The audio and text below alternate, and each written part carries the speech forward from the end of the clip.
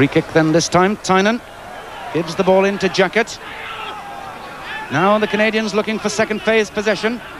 Tynan goes digging in, and of course, as soon as the referee blows the whistle, out comes the ball. It's England again who are penalised though.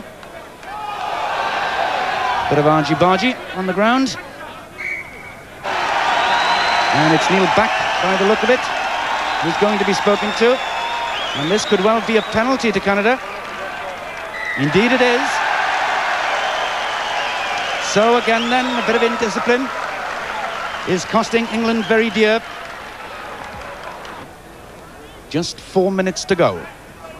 As Gareth Rees looks for his fourth successful penalty. The crowd tell you it's over.